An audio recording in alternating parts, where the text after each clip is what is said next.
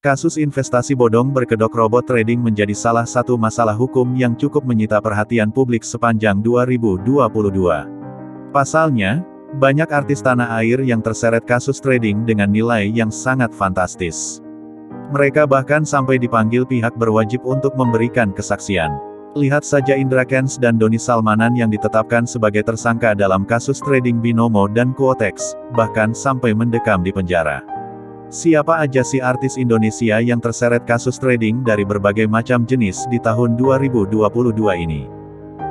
1. Vincent Raditya Kapten Vincent Raditya pada akhir Maret tahun 2022 dilaporkan ke Mapolda Metro Jaya. Vincent yang terindikasi sebagai afiliator aplikasi Oxtrade dilaporkan karena menjerumuskan korban hingga bermain trading dan berujung merugi. Direktur Tindak Pidana Ekonomi Khusus Bareskrim Polri, Brigjen Pol Wisnu Hermawan menyebut, Vincent diperiksa sebagai saksi dalam kasus aplikasi Oxtrade ini. 2. Rizky Bilar dan Lesti Kejora Lesti Kejora dan Rizky Bilar sempat terseret kasus trading DNA Pro, karena menerima uang senilai 1 miliar rupiah dari Stephen Richard yang merupakan co-founder DNA Pro. Uang itu diberikan Stephen sebagai hadiah atas kelahiran baby L. Rabu, tanggal 20 April tahun 2022, Rizky Bilar dan Lesti telah memenuhi panggilan penyidik. Mereka pun sudah mengembalikan semua uang yang mereka terima dari DNA Pro. 3. Ivan Gunawan Desainer kondang Ivan Gunawan pun sempat terseret kasus trading. Kamis, tanggal 14 April tahun 2022, Igun begitu sapaan akrabnya telah memenuhi panggilan pemeriksaan di Bares Krim Polri. Igun mengakui dirinya dikontrak selama tiga bulan oleh pihak DNA Pro sebagai brand ambassador. Ia pun menegaskan hubungannya dengan DNA Pro hanya sebatas profesional kerja. 4. Elo, penyanyi Marcelo Tahito atau yang lebih dikenal Elo juga terseret kasus trading DNA Pro. Namun, Elo belum sempat menjalani pemeriksaan polisi. Pada Kamis, tanggal 29 April tahun 2022, Elo yang sudah dalam perjalanan menuju Bares Krim Polri tiba-tiba diberitahu jika pemeriksaan soal kasus trading DNA Pro ditunda. 5. Billy Syahputra Kasus trading DNA Pro juga menyeret nama Billy Syahputra. Adik mendiang Olga Syahputra itu terseret karena menjual mobil ke salah satu tersangka DNA Pro. Kuasa hukum Billy, Fahmi Bahmit mengatakan jika kliennya menjual mobil senilai 1 miliar rupiah ke tersangka DNA Pro. 6. DJ Una DJ seksi yang dijuluki Hot Mom itu mengklaim jika dirinya adalah korban dari investasi ilegal DNA Pro. Perempuan bernama lengkap Putri Una Astari Tamrin ini membantah dirinya menjadi brand ambasador maupun afiliator robot trading tersebut, meskipun sempat mengunggah tentang DNA Pro di media sosial. 7. Firsa Jebolan ajang pencarian bakat Indonesian Idol, Firza menambah daftar artis yang terseret kasus trading DNA Pro. Penyanyi dengan nama lengkap Muhammad De Firza itu diperiksa polisi dalam kapasitasnya sebagai saksi. Firza disebut-sebut pernah tampil sebagai performer acara yang berkaitan dengan DNA Pro. 8. Yosi Project Pop Pada tanggal 22 April tahun 2022, Yosi Project Pop telah menjalani pemeriksaan di Bareskrim Polri terkait dengan kasus DNA Pro. Yosi terseret karena dirinya pernah membuatkan sebuah jingle atau lagu oleh DNA Pro. Dalam proses pembuatan jingle, Yosi menyebut dirinya terlebih dahulu meriset terkait perusahaan tersebut. Dari situlah dirinya tahu jika perusahaan itu merupakan DNA Pro. Di proyek ini, Yosi menerima kontrak senilai 115 juta rupiah. 9. Rosa, wanita yang dikabarkan dekat dengan Afgan ini ikut terseret karena pernah mengisi sebuah acara yang digelar oleh DNA Pro.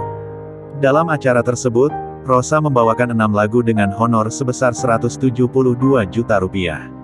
TOK begitu sapaan akrabnya mengaku hanya menjalani pekerjaannya sebagai penyanyi. 10. Novela, senasib dengan Rosa, Novela Mikelia atau Novela Idol juga dipanggil polisi karena pernah mengisi acara DNA Pro di Jakarta. Novella mengakui mendapat bayaran saat tampil di acara DNA Pro tersebut. Namun bayarannya tidak sampai ratusan juta. Dia mengaku siap mengembalikan uang yang didapatnya saat manggung di acara DNA Pro. 11. Coki Sitohang Artis lainnya yang juga terseret kasus DNA Pro adalah Coki Sitohang. Coki harusnya menjalani pemeriksaan pada Rabu, tanggal 20 April tahun 2022. Namun, Coki absen di panggilan tersebut. Tidak diketahui pasti apa alasan Coki absen, namun dia dan meminta penjadwalan ulang pemeriksaan. 12. Atta Halilintar Atta Halilintar dilaporkan oleh 230 orang yang mengaku menjadi korban penipuan robot trading net 89. Sementara itu, ada 134 orang yang dilaporkan atas kasus dugaan tindak penipuan dan penggelapan itu, salah satunya Atta. Suami Aurel Hermansyah itu ikut terseret diduga lewat lelang bandananya yang dimenangkan oleh founder Net 89 sebesar 2,2 miliar rupiah. Uang hasil lelang itu kata Atta digunakan untuk pembangunan masjid. 13. Taki Malik. Tidak hanya Atta Halilintar, Taki Malik juga menjadi salah satu publik figur yang terseret di kasus trading net 89. Taki ikut terseret buntut lelang sepeda Brompton yang dimenangkan oleh founder net 89 yaitu Reza Paten. Taki menerima uang senilai 700 juta rupiah, yang digunakannya untuk pembebasan lahan dan pembangunan masjid. Kuasa hukum Taki menjelaskan, jika tidak ada aliran dana yang digunakan Taki untuk kepentingan pribadi. 14. Kevin Aprilio. Selanjutnya, ada Kevin Aprilio yang juga dilaporkan dalam kasus trading net 89. Kevin mengakui jika dirinya pernah mempromosikan soal trading tersebut.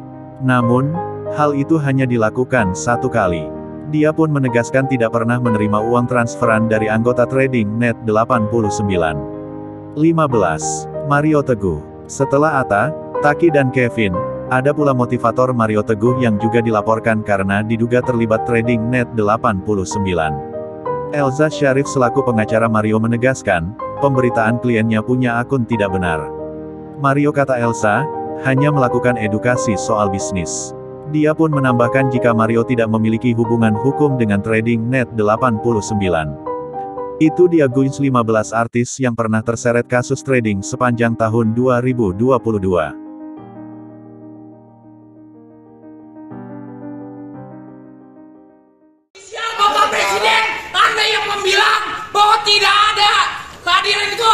Ditegakkan tidak mana bulu. Kami korban. Habis semua harta kami. Usia kami sudah tua. Kerja apa kami. Uang sudah diambil si Doni oh my god. Hakim kami akan berhenti sampai uang kami kembali. Ajab lihat emak ajab ya uangnya anda ambil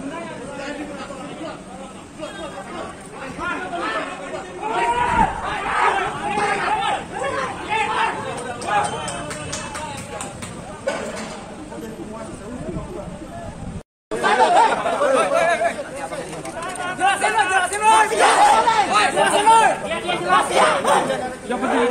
mancing saya berdua pak, berdua saya saya mati pak, berdua saya pak, saya mati pak, saya mati. Ayo, saya mati. Udah, udah tolong kalian pulang aja, pulang, aja. Udah, udah, udah, udah, udah, Siap, siap, siap.